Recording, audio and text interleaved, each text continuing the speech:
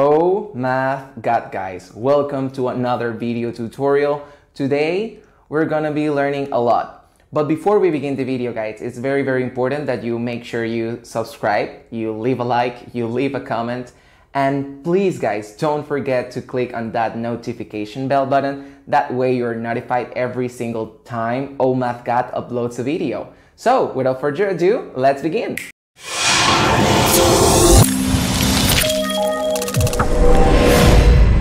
Oh my god.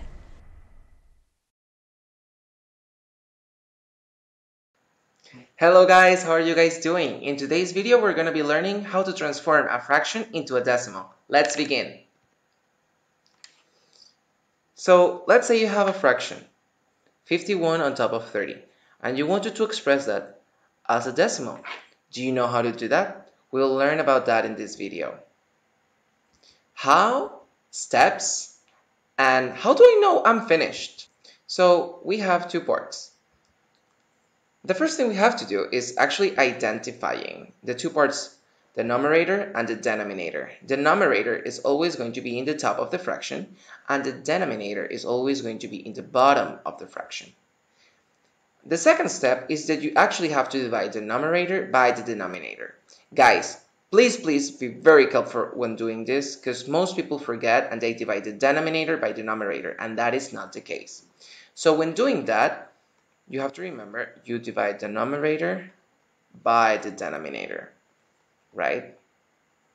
So 51 divided by 30, that's 1. 1 times 30 is 30. We subtract. We get 1, and here we get a 2. And then we get 21 divided by 30. Because we have finished with all the numbers here, and we have already reached a remainder, we can actually continue adding a comma.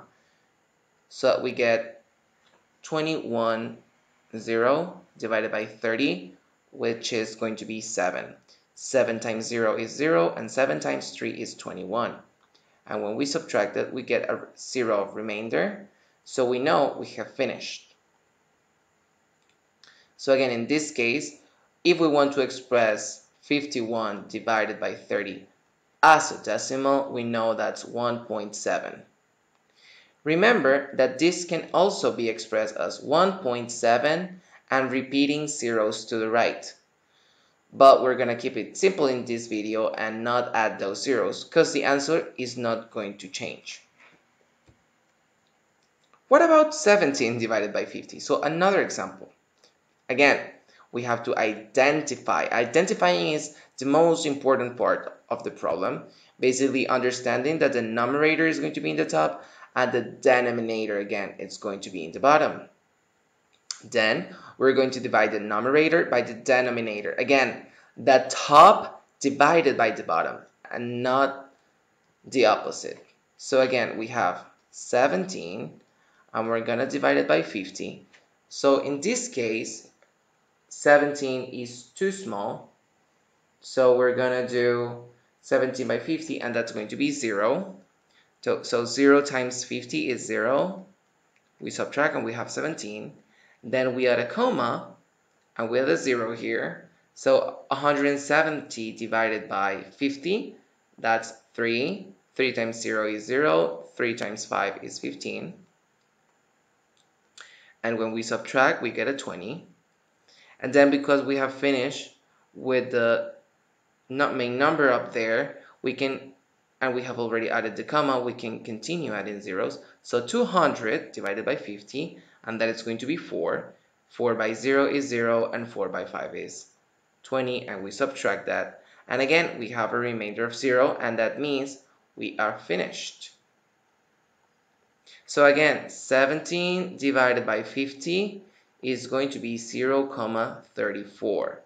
So guys, that's very, very useful for your daily lives to identify the numerator, the denominator, and then change it into a decimal.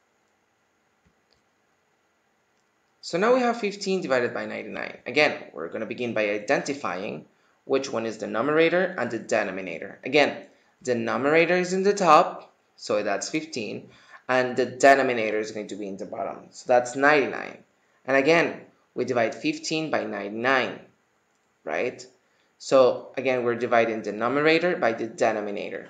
You have to remember that. So in this case, we're going to divide 15 by 99.